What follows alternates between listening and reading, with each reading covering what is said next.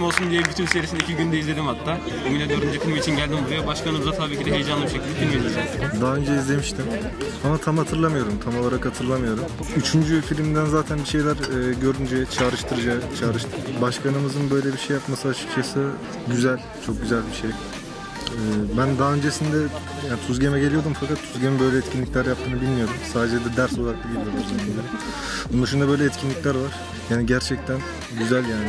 Ee, arkadaşlar siz nasıl buldunuz? Ben şöyle söyleyeyim. Ee, bir defa tabii ki üçleme ile birlikte biten Neo ve Trinity'nin ölümüyle biten bir durumda. E, makinelerin e, bunları tekrar yaşatmaya başlaması ve yine makineler şehrinde daha sonra enerji kriziyle iki gücün ortaya çıkması ve iki güç birbiriyle savaşırken tabii ki bu arada insanlarla ilişki kurmaya çalışması ve Trinity ile Neo'nun birbirine zıt olarak güçleriyle birleştiğinde çok farklı bir güç olabilecek. O sevgiydi o zaman bir önceki seride üçlemede gördüğümüz gibi ve daha sonra insanlara dokunmuyorlar. Makineler söz verdiğini yapıyorlar ama bir şey görüyoruz. Matrix'in yeni bir versiyonunu yapıyorlar. Fakat yeni versiyon Matrix işte beklendiği gibi değil. Trinity ile Neo'yu farklı bir şekilde kullanarak onların arasındaki ilişkiyi ve insanlara da hiç e, bulunduğu meta e, evrene veya Matrix evreninde çok böyle anlaşmalı bir şekilde çok daha doğrusu çok memnun bir şekilde yaşıyorlar. Fakat diğer makineler grubuysa özellikle de gördük Nero Vinci olsun veya ve bir- birçok eski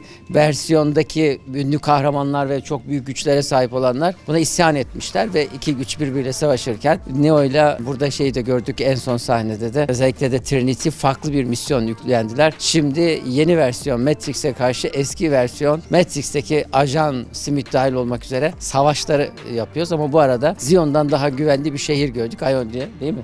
Evet öyle bir şehirde de insanlar kendilerini daha güvenli hale sokmuşlar. Ama bir üçlemedeki sonunda Neo gerçekten güç şey, savaşı bitirmiş. Orada onu anladık. Ee, savaşı bitirmiş. Fakat burada birçok eski sahneye de var. Özellikle de beyninin bir ara ara devrede kaldığındaki bir e, tren istasyonunda beklerken ki o şey çok önemli. Bir kız çocuğunun büyümesi ve o da diğer makinelerin gücüne geçmesi. Burada çok güzel şeyler var ama şöyle söyleyeyim daha detaylı bir şekilde yorumlamak lazım. Şimdilik bu kadar herhalde. Çok bile.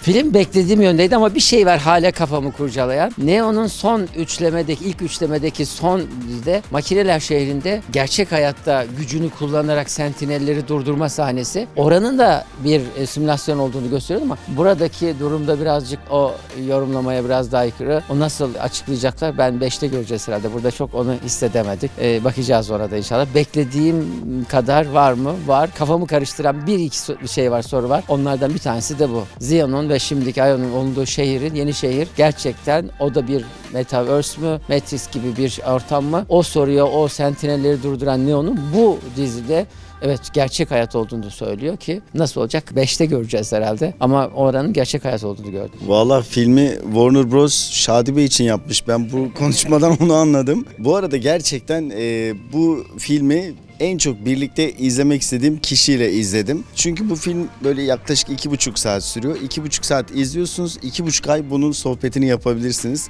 Kimle yapabilirsiniz? Geçmiş filmleri izlemiş, hayatını teknolojiye adamış, acaba gelecekte neler olacak diyen birisiyle izlemek çok kıymetli. Ben şu anda o keyfi yaşadım onu söylemiş olayım. Bir de bizim kendi konularımız var işte paylaştığımız Metaverse'ten bahsediyoruz, sanal gerçeklikten bahsediyoruz. Birileri arsa alıyor, birileri kripto paralarla ödeme yapıyor, gelecekten bahsediyor. Film tam da bu konuları konuştuğumuz bir zamanda ortaya çıktı. E, Gerçekten benim için en keyifli filmlerden bir tanesiydi. Bir de sağ olsun başkanımızın davetiyle geldim. Burada genç arkadaşlarla beraber izledik. Ee, yine tekrar tekrar izleyecek gibi duruyorum. Çok teşekkür ederim davet için. Burada zaman ayıran genç arkadaşlara da çok teşekkür ederim. Daha bol bol konuşacağız. Sizler de yorum yapabilirsiniz aşağıda filmi izleyenler ne düşündüler. Bir de hiç unutamayacağım bir şey oldu. Hayatımda ben böyle bir şeyle karşılaşmadım. Filmi izliyorum. Filmin içerisinde bir kedi var. Dejavu o sahne ve sahneden bir kedi geçti. Dedim ki ya bu gerçek mi yoksa filmin bir parçası mı?